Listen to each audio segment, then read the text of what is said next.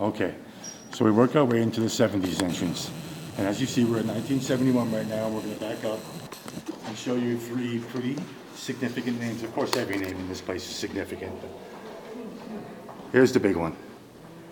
And he's still with us today. It's amazing to think that Yogi Berra is still with us and all the deja vu all over again and all the, all the great phrases that he's come up with. But if you look down, we have Lefty Gomez, Sandy Koufax, who obviously everybody in Brooklyn and every Dodger of history knows who Sandy Koufax is, one of the most dominant pitchers in the history of our game. And as you work your way down to Early Wynn, here's the biggest name again.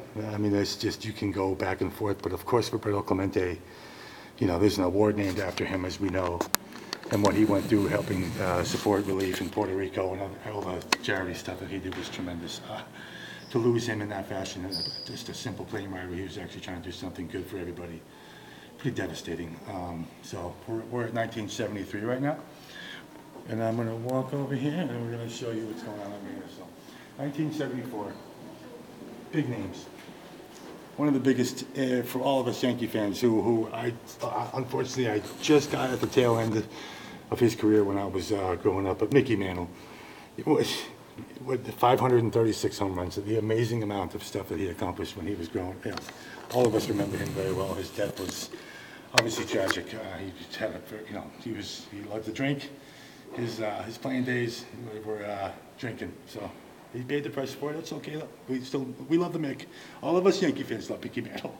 So work your way around. Lee Harmon, Look at this. I mean, now we're working our way into the late 70s. And some of the most significant names that, uh, of all this generation. I mean, you think about Willie Charleston. You have Cal Hubbard here, Roger Connor.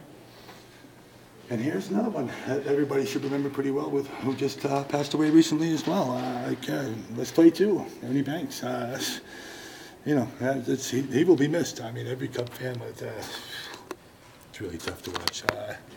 We will all miss Ernie Banks. I mean, everyone around here will miss Ernie Banks for years. A legend of this game. And what he means to Cub fans will, will never, ever go away.